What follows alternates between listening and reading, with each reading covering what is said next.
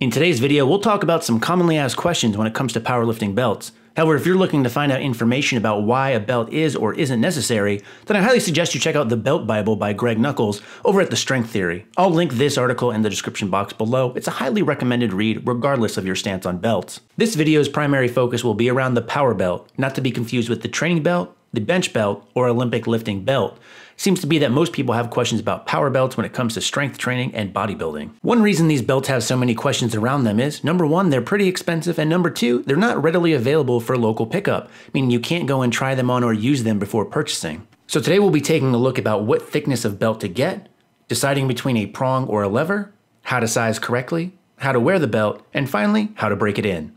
The first attribute we'll discuss is thickness. In most cases, power belts are offered in three sizes 6.5mm, 10mm, and 13mm. A general rule of thumb is that the thinner the belt, the more comfortable, pliable, and easier to break in the belt will be. There's been discussion around whether or not a 13mm provides more overall benefit, but I haven't found anything to support this theory carrying over to weight training other than the belt just being more firm. It should be noted that the thickness of a 10 or 13 millimeter belt typically includes both the leather and the suede that the belt is wrapped with. On average, a piece of suede will be between 1.5 to 4 millimeters thick. So, for example, a 10 millimeter belt is usually a 6.5 millimeter piece of leather wrapped in two thin layers of suede. Going with suede oftentimes lets you customize the look of your belt, but one without it will be more firm due to there being more overall leather. So, which thickness should you get? I've found from using both and speaking with a lot of different lifters that it doesn't really matter.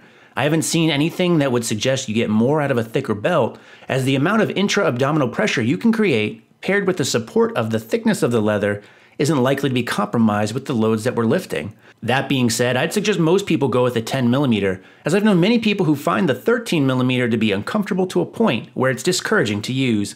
Another choice you'll be faced with is choosing a prong or lever belt. Power belts are typically offered in three fashions single prong, double prong, or lever.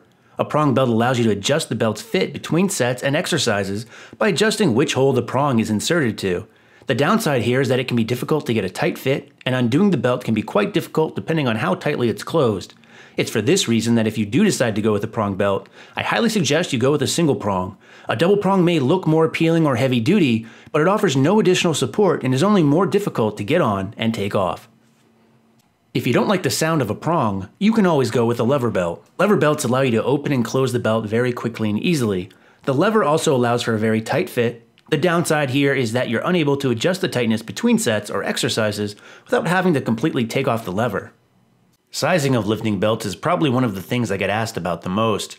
You'll find some manufacturers have sizes listed that don't have an overlap, which can make size selection very tricky. For example, an Inzer medium fits waist sizes 30 to 33, where their large fits 34 to 38. Now, if you're a size 33 or 34, which belt do you choose?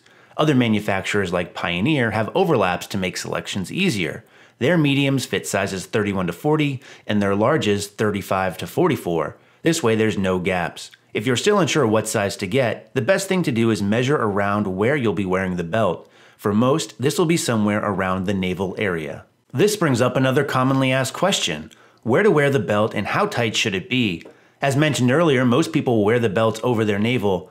This is in line with the area between your hips and your ribs, so the belt is not restricted by bone, but this is also the area that you'll be pushing into using intra abdominal pressure. Some lifters prefer to wear their belt slightly up or slightly down, based off personal preference and body type. So, how tight should your belt be? Since our goal here is to give us something to press out against and maximize intra abdominal pressure, we want our belts as tight as possible while still allowing us to take a fully expanded breath out. Once you've made the previous decisions and order your belt, the last question that typically comes up is, how do I break it in? Many find that belts are pretty stiff upon arrival and can be somewhat uncomfortable initially. This can especially be true with a 13mm belt as opposed to a 10mm one. The best way to break in your belt is just to use it. This way it can conform to your body over time but another popular way is to roll the leather back and forth when not in use.